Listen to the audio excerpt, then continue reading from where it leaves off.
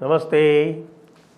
मैं हूँ संजय दीक्षित और आप देख रहे हैं दी जयपुर डायलॉग्स बड़ी रेल दुर्घटना बालासोर में और अब हो गई है सीबीआई इंक्वायरी की घोषणा। अब सीबीआई की इंक्वायरी क्यों हुई है? मैं उसको अभी आपको थोड़ा सा विस्तार में कारण पूरा बताता हूँ। और विस्तार में कारण आप जानेंगे तो आपको पता चलेगा कि निश्चित रूप से सीबीआई इंक्वायरी आवश्यक है। क्योंकि जिस प्रकार से दुर्घटना हुई है, वो साफ़ साफ़ एक बात बिल्कुल बता देती है कि ये दुर्घटना जो है, वो किसी मानव द्वारा छेड़छाड़ के कारण ही हो सकती है। ऐसा क्यों है? क्योंकि जो वो पूरा इलेक्ट्रॉनिक सिग्नल सिस्टम है, वो फूल प्रूफ है, वो फेल सेफ़ है।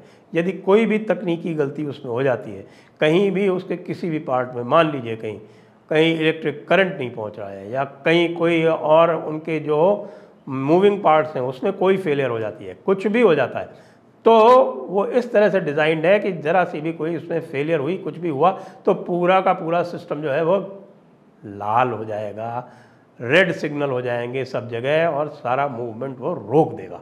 किसी भी तरह से वो आगे नहीं बढ़ने देगा। और जो ये पता चला है कि जो इंजन का ड्राइवर था, उसने मरने से पहले यह बयान दे दिया था कि उसको सिग्नल ग्रीन मिला था। पैनल पर भी सिग्नल ग्रीन मिला था। लेकिन जो पॉइंट था, जो उस पैनल से ऑपरेट होता है, वो पॉइंट जो था, वो लूप लाइन पे सेट था जो कि ग्रीन सिग्नल के साथ में मेल नहीं खाता है, क्योंकि यदि ग्रीन सिग्नल होगा तो उसको थ्रू थ्रू लाइन पे जाना पड़ेगा। मेन लाइन पे ट्रेन को जाना था, चली गई वो लूप लाइन पे, इतना तो अब स्पष्ट हो चुका है। अब इसमें किसी भी प्रकार का कोई संदेह नहीं है। अब आते हैं उस दिन की घटना पर। बताया जाता है कि उस दिन जो एक लेवल क्रॉसिंग थी, वो लेवल क्रॉसिंग का जो बूम बैरियर था, वो अटक गया था। वो बूम बैरियर अटक जाने के कारण और वो नीचे नहीं हो रहा था तो उस वजह से इंटरलॉकिंग गाड़ी को आगे बढ़ने के लिए ग्रीन सिग्नल देने, देना परमिट नहीं कर रहा था। क्योंकि इंटरलॉकिंग में जो लेवल क्रॉसिंग्स होते हैं, इस तरह के जितने भी बीच के बिंदु होते हैं, उन सब में जब तक वो बंद नहीं होगा, तब तक इंटरलॉक उसको परमिट नहीं करेगा कि आगे का पॉइंट वो सेट कर सके या सिग्नल उसका ग्रीन हो सके। तो ये पता चला है कि इससे पार पाने के लिए जो वहाँ पर सिग्नल ऑपरेटर था, उसने किया है जुगाड़। आपको पता है कि भारत में जुगाड़ की बड़ी परंपरा है और ऐसे जुगाड़ के चक्कर में भारत में कई सारी दुर्घटनाएँ होती रहती हैं। और वो जुगाड़ कहाँ किया जाता है? वहाँ पर एक होता है लोकेशन बॉक्स। उस लोकेशन बॉक्स में ये सारे के सारे जो सिस्टम के तार हैं, वो वहाँ जाकर मिलते हैं। उनको जंक्शन बॉक्स, लोकेशन बॉक्स, वो वहाँ होते हैं, उसमें ये सारे सिस्टम जाके मिलते हैं। अब उसने भाई ने जो सिग्नल ऑपरेटर था, उसने ये सोचा कि भाई, अगर मान लीजिए यहाँ पर ये बूम बैरियर बंद नहीं हुआ इस क्रॉसिंग का तो मैं इस सिग्नल तो कैसे दे पाऊँगा? कोरोमंडल आने वाली है। और कोरोमंडल अगर आ गई, ये बूम सिग्नल तो यहाँ पर तो हम टेम्परेरी इंतज़ाम कर लेंगे। यहाँ पर हम खड़ा कर देंगे, यहाँ पर कोई रस्सी वस्सी खींच देंगे, कह देंगे, भाई, रुक जाओ, ट्रेन आ रही है। लेकिन हरा सिग्नल देने के लिए तो फिर इसको मुझे बाईपास करना पड़ेगा। तो वो जाके क्या करता है कि लोकेशन बॉक्स में जाकर उस पूरे सिस्टम को लूप कर देता है। लूप करने का मतलब ये होता है कि वो, जो वो इंटरलॉकिंग है सिग्नल से बूम बैरियर की, उसको कर देता है लूप सिग्नल हो जाता है ग्रीन लेकिन पॉइंट चेंज नहीं होता। देख रहे हैं आप? ये सब करने में, लूप करने में, ग्रीन सिग्नल देने के बाद पैनल पर आ गया।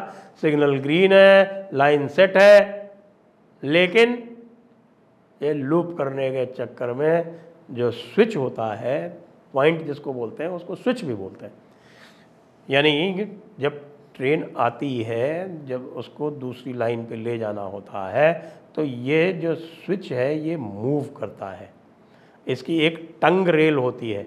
जब टंग रेल साथ में आ जाती है, मान लीजिए गाड़ी को लेफ़्ट जाना है लूप लाइन पे तो देखिए उसके जो फ्लैंज होते हैं ट्रेन के, वो अंदर की तरफ़ होते हैं। तो अगर मान लीजिए वो टंग जो है, उसको लेफ़्ट साइड से अलग कर दिया जाता है और राइट साइड में जोड़ दिया जाता है।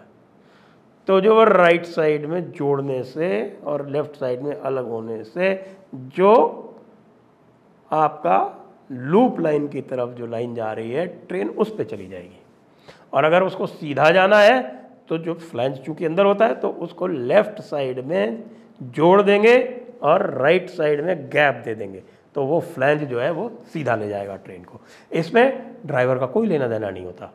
ये पूरा का पूरा काम जो है वो स्टेशन से होता है और स्टेशन मास्टर के निर्देशन में जो पैनल ऑपरेटर होते हैं वो ये सारा काम करते हैं। आजकल उसके लिए एक रूट रिले रूम भी होता है अलग से। ये रूट रिले रूम जो होता है, ये डबल लॉक से लॉक्ड रहता है। यानी इसकी दो चाबियाँ होती हैं और दोनों चाबियों को ऑपरेट किए बिना वो खुल नहीं सकता। अब यहाँ पर ये आया है कि जब एक्सीडेंट हुआ तो पाया कि जो रिले रूम था वो खुला हुआ था और उसके पहले यहाँ मेंटेनेंस कार्य हुआ था। इसका मतलब ये है कि हमारे जो ज्ञानी ध्यानी लोग जो हैं वो जुगाड़ वाले, उन जुगाड़ वालों ने वहाँ पे मामला कुछ किया। अब ये नहीं पता कि ये जो जुगाड़ जो किया गया है, ये किसी क्रिमिनल इंटेंट से किया गया है या कि जो ये जुगाड़ ये लोग करते रहे हैं। और नॉर्मल रूप में करते रहे, उसी जुगाड़ के हिसाब से इन्होंने किया है। बहरहाल, इस जुगाड़ के चक्कर में लगभग 300 लोगों की जान चली गई। इसीलिए यहाँ पर एक इतना बड़ा स्टेप लिया गया कि इसमें सीबीआई की जाँच को आदेशित किया गया। अब ये बात और आई है इसमें कि इस प्रकार के जुगाड़ जो हैं, वो होते रहते हैं और ये जो ऊपर का मैनेजमेंट है, उनकी दृष्टि में भी है। लेकिन इतना प्रेशर है गाड़ियों को समय से चलाने का, इतना प्रेशर है गाड़ियों को ज़्यादा से ज़्यादा चलाने का, ख़ासतौर से जो पैसेंजर ट्रेन से उनको अधिक से अधिक चलाने का, इतना अधिक प्रेशर रहता है स्टेशन स्टाफ पर और जो पूरा का पूरा ऑपरेशन का स्टाफ है उनके ऊपर कि वो ये प्रयास करते रहते हैं कि अगर छोटा मोटा कहीं सेफ्टी से कॉम्प्रोमाइज़ करना भी पड़े तो ट्रेन समय पर चलती रहे, क्योंकि ट्रेन जिसका जो पंक्चुअलिटी है, वो लगातार मॉनिटर होती रहती है। आप ये देखिए कि इनके पास कितना समय रहा होगा कि पिछला जो रेलवे स्टेशन है, वो सिर्फ़ पाँच किलोमीटर है, और वो पाँच किलोमीटर से यहाँ तक आने में उसको मुश्किल से दो ढाई मिनट इसलिए लगे होंगे, क्योंकि वो ट्रेन चल रही थी 128 किलोमीटर प्रति घंटा की गति से, अब 128 किलोमीटर की गति से तो वह पाँच किलोमीटर मुश्किल से दो ढाई मिनट में पहुँच गई होगी। अब ऐसे दो ढाई मिनट के चक्कर में इन्होंने पहले ये ले चुके हैं एक लूप लाइन पे ट्रेन को और फिर अगली ट्रेन को फटाफट लाने के लिए ये जाके वहाँ पे छेड़छाड़ करते हैं, पॉइंट मशीन से, लूप करते हैं जाके जंक्शन बॉक्स में और साथ में जो रिले रूम है वहाँ पे भी कुछ एडजस्टमेंट करते हैं जाके। और इस सारे कार्य से होता ये है कि वो जो पॉइंट मशीन है, वो डीलिंक हो जाती है और रिवर्स हो जाती है। यानी उसको, वो रिवर्स हो जाती है। और इसीलिए जो पहली रिपोर्ट आई थी, उसमें ये आया था कि भाई signal was given green signal was given and then taken off तो जब इन्होंने सिग्नल दिया और उसके बाद वो पॉइंट चूँकि उसको डीलिंक कर दिया था, वो वापस ऑपरेट हो गया। इस, ये जो कार्य हुआ, उसमें इनके पास समय ही नहीं था कि उस गलती को ठीक कर पाते। इसलिए पूरी रेलवे बोर्ड को, पूरे जोन को, बल्कि सारे जोन्स को इस चीज़ की अत्यंत आवश्यकता है कि ये जो शॉर्टकट लेने का जो एक प्रचलन होता है हमारे यहाँ, उसको किसी भी प्रकार से उसका उपयोग ना करें। क्योंकि ट्रेन डिले हो जाए, भले भाई, जान तो ना जाए। आदमी अगर आधे घंटे लेट हो जाएगा, घंटे भर लेट हो जाएगा, घर तो पहुँच जाएगा। यह हुआ है इस पूरे हादसे में। और जो तीसरी ट्रेन जा रही थी, वो तीसरी ट्रेन तो लगभग निकल चुकी थी। उसके जो आखिरी दो डब्बे थे, उसमें जब ये डिरेल होती है ट्रेन पूरी की पूरी, तब वो इसके पिछला हिस्सा जो है वो टकरा जाता है। ये हुआ है इसमें पूरा।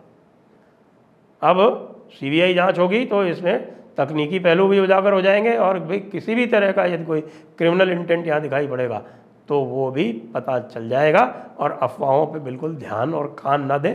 कि जो लोग जो हैं वो इसमें और तरह तरह के एंगल्स बता रहे हैं, वैसा अभी तक कुछ भी पता नहीं चला है। वो सारी अफवाहें ही अफवाहें तो इसलिए अब रेलवे को भी और देश को भी ये ध्यान रखना पड़ेगा कि किसी भी प्रकार से सुरक्षा और संरक्षा के जो फुल प्रूफ फेल सेफ़ जो मेथड्स हमें दिए हुए हैं कंप्यूटर बेस्ड इलेक्ट्रॉनिक्स के माध्यम से, उनके साथ ही इस तरह की मानवीय छेड़छाड़ ना हो। और इस प्रकार का हादसा भी भगवान न करे, कभी और हो। जय हिंद, वंदे मातरम।